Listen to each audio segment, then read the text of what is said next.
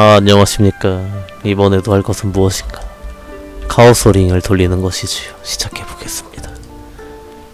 첫 번째입니다. 근데, 아, 이거는 돌리는 소리가 안 나니까는 뭔가 좀 감흥이 없는 것 같긴 한데. 어, 마력 25.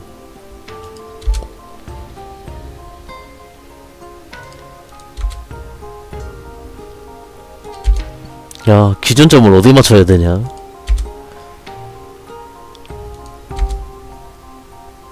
록 15%? 아 근데 힘이 안 나온다. 와 또 방어력으로 감사합니다. 다음 이제 준비되어 있는 거 하나 더 있죠. 팬텀. 아니면 매수 안 줘도 돼요.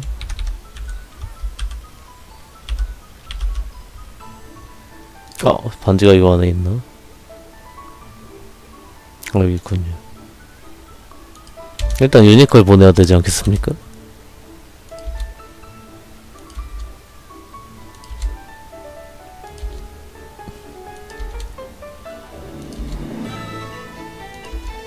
끝났나요? 아, HB 세 줄. 아, 끝났네요.